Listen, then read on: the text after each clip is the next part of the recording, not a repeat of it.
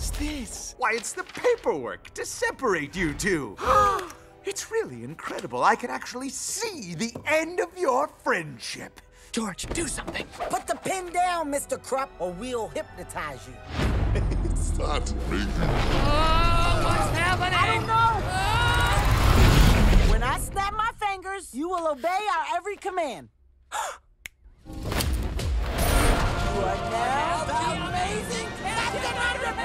Tra-la-la! Come, sidekick. We gotta stop him. Why?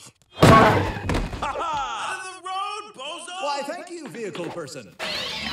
Yep, we should probably go get him.